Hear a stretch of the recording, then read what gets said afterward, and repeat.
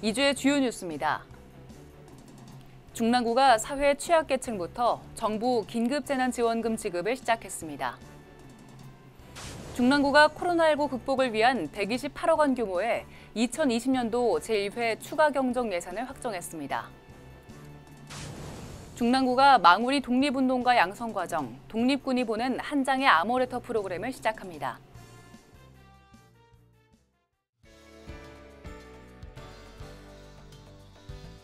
국민 여러분 안녕하십니까? 행복한 미래, 새로운 중랑의 소식을 전하는 JBN 뉴스 엄지민입니다. 첫 소식입니다. 중랑구가 지난 5월 4일 사회 취약계층부터 정부 긴급재난지원금 지급을 시작했습니다. 중랑구가 모든 구민을 대상으로 정부 긴급재난지원금을 지급합니다. 총 지원 규모는 1,107억 원에 이르며 가구별로 최소 40만 원에서 최대 100만 원까지 지급될 예정입니다. 이를 위해 중랑구는 정부 긴급재난지원금 운영을 위한 콜센터와 동주민센터 전담 창구를 운영하며 중랑구 홈페이지를 통해 정부 긴급재난지원금 신청 방법 안내 서비스를 제공하는 등 신속하고 정확한 긴급재난지원금 지급에 총력을 기울이고 있습니다. 정부 긴급재난지원금은 신용카드와 체크카드, 선불카드와 서울사랑 상품권 중 원하는 것을 선택해 지급받을 수 있습니다. 신용카드 및 체크카드의 경우 5월 32일까지 카드사 홈페이지에서 온라인 신청할 수 있으며 카드와 연계된 은행 창구로 방문 신청은 5월 18일부터 가능합니다. 서울사랑 상품권은 온라인으로 신청할 수 있으며 오는 5월 18일부터 동주민센터에서도 선불카드를 신청할 수 있어 온라인 신청이 어려운 구민 여러분의 편의를 도울 계획입니다. 홀로 거주하는 고령 및 장애 주민의 요청이 있으면 동주민센터에서 해당 주민을 직접 방문해 접수하는 찾아가는 신청도 운영할 예정입니다. 한편 중랑구는 지난 5월 4일 생계급여 및 기초연금, 장애인연금 수급자 등 2만 3,349세대를 대상으로 현금 108억 원을 선지급하며 지원이 시급한 주민의 어려움을 해소했습니다. 정부 긴급재난지원금 사용기한은 8월 31일까지입니다. 국민 여러분도 지역사회와 상생하는 슬기로운 소비로 침체된 지역 경기 회복에 함께해 주시길 바랍니다. 중랑구가 코로나19 극복을 위한 128억 원 규모의 2020년도 제1회 추가 경정 예산을 확정했습니다. 코로나19 극복을 위한 128억 원 규모의 추경 예산은 지난 4월 29일 제239회 임시회 의결을 거쳐 확정됐습니다. 중랑구는 코로나19 위기 극복에 중점을 두고 소상공인 지원과 긴급복지 대상자 확대 등 민생 안정과 위축된 지역 경제 활성화에 집중적으로 이번 추경 예산을 사용할 계획입니다. 중랑구는 먼저 소상공인 지원을 위해 중소기업 육성기금 35억 원과 전통시장 지원 1억 원, 그리고 어린이집 운영 지원 4억 원, 코로나19와 관련해 생계에 어려움을 겪는 주민을 위한 긴급복지 및 자가격리자 생활비 지원에 8억여 원, 그리고 방역 지원에 6억여 원을 편성했습니다.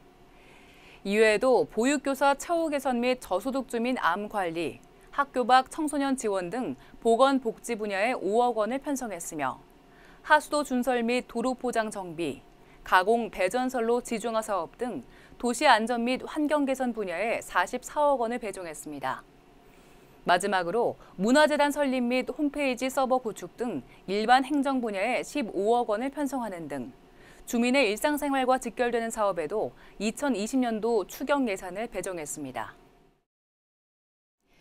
이번 추경 예산은 코로나19로 어려움을 겪는 주민 여러분께서 직접 체감하실 수 있는 지원 사업과 긴급 복지 등 꼭 필요한 사업들로 편성했습니다. 중랑구는 어려운 시기지만 구민 여러분께서 소중한 일상을 되찾으실 수 있도록 최선을 다하겠습니다. 중랑구가 문화재청 공모사업 생생문화재 사업의 일환으로 독립군이 보낸 한 장의 아모레터 프로그램을 본격적으로 시작합니다. 생생문화재 사업 독립군이 보낸 한 장의 아모레터 프로그램의 대상 문화재는 망우리 공원 국가등록문화재 제691-5675 망우 독립유공자 묘역의 서광조, 서동일, 오재영 묘소와 서울특별시 기념물 제15호 아차산 봉수대 터입니다. 독립군이 보낸 한 장의 아모레터 프로그램은 독립운동을 테마로 한 가지 교육형 프로그램과 세 가지 체험형 프로그램이 진행되며 참가비는 모두 무료입니다. 먼저 망우리 독립운동가 양성 과정은 중랑구의 독립운동 콘텐츠 및 문화재적 가치를 소개하는 문화해설사 양성 프로그램입니다. 지난 4월 25일부터 오는 6월 20일까지 중랑구청 회의실에서 총 8회에 걸쳐 진행되며 이수자는 향후 생생문화재 프로그램 문화해설사로 활동할 수 있는 기회가 주어집니다.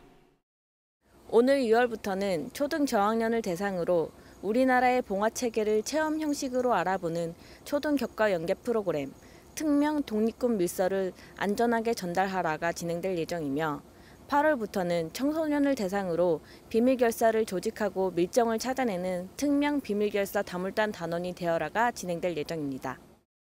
오는 9월부터 11월까지는 초등 저학년 및 유아 동반 가족을 대상으로 독립자금의 기능과 필요성을 알아보는 특명 독립자금 암호를 해독하라 프로그램이 진행되는 등 독립군 활동을 직접 체험해 볼 수 있는 다양한 활동이 망우리 공원에서 이어질 계획입니다. 중랑구 생생문화재 사업 독립군이 보낸 한 장의 아모레터 프로그램은 선착순 사전 예약제로 운영되며 참가 신청은 중랑구 생생문화재 네이버 카페에서 하실 수 있습니다. 대한민국 근현대사의 명소 망우리 공원을 무대로 그 시대를 직접 체험해 볼 수 있는 멋진 프로그램이 시작됩니다. 독립군이 보낸 한 장의 아모레터. 중랑구는 이 프로그램이 중랑구를 대표하는 문화관광 프로그램으로 자리 잡을 수 있도록 최선을 다하겠습니다.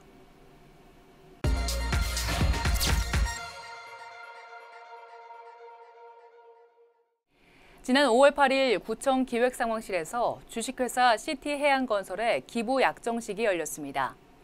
이번 기부 약정식을 통해 주식회사 시티해양건설은 전용 면적 1,584.7제곱미터, 시가 244억 원 상당의 서울 양원 공공주택지구 주상복합용진의 건축 공간을 중랑구 지역 사회 발전을 위해 기부했습니다.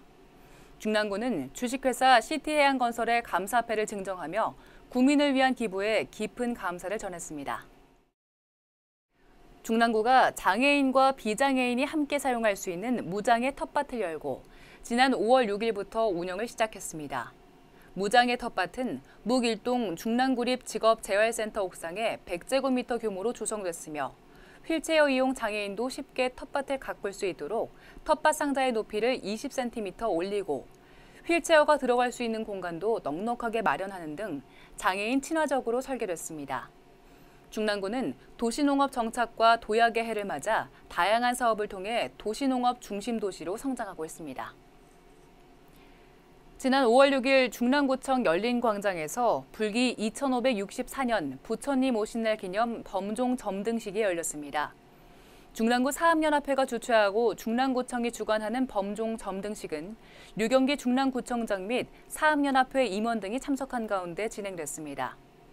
이날 행사를 통해 중랑구 사업연합회는 코로나19 극복을 위한 성금 500만 원도 함께 전달했습니다. 지난 5월 7일 구청장실에서 중랑구 인권위원회 위촉장 수여식이 열렸습니다. 중랑구는 구민의 인권 보장을 위한 정책을 만들기 위해 중랑구 인권위원회를 구성했으며 이를 위해 인권활동 경력자 8명을 중랑구 인권위원회 위원으로 위촉했습니다. 중랑구 인권위원회는 앞으로 중랑구민의 인권 보장을 위한 다양한 정책을 심의할 예정입니다.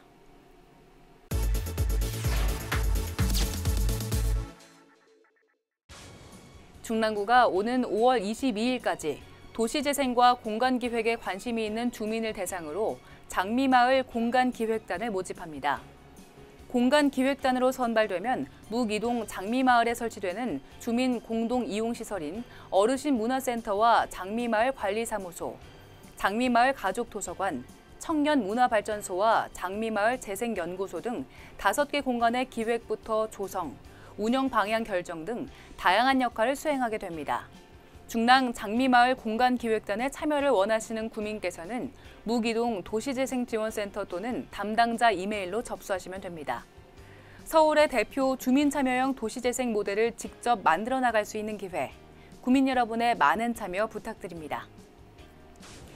중랑구가 2020년 승용차 마일리지 신규 가입자를 모집하고 있습니다. 가입 대상은 서울시 등록 12인 이하 비사업용 승용차입니다. 가입을 원하시는 구민께서는 승용차 마일리지 홈페이지에서 온라인 신청하시거나 중랑구청 교통행정과 및 인근 동주민센터를 방문하시면 됩니다. 최초 누적 주행거리와 1년 후 최종 누적 주행거리를 비교해 실질적 감축을 실천했을 때 7만 포인트까지 차등 지급하며 지급된 포인트는 승용차 마일리지 홈페이지에서 모바일 상품권으로 교환하시거나 서울시 이택스를 통한 지방세 납부 또는 현금으로 전환해 사용하실 수 있습니다. 미세먼지를 줄이고 대기를 맑게 하며 에너지 사용을 줄이고 알뜰하게 포인트도 챙길 수 있는 승용차 마일리지. 구민 여러분의 적극적인 참여 바랍니다.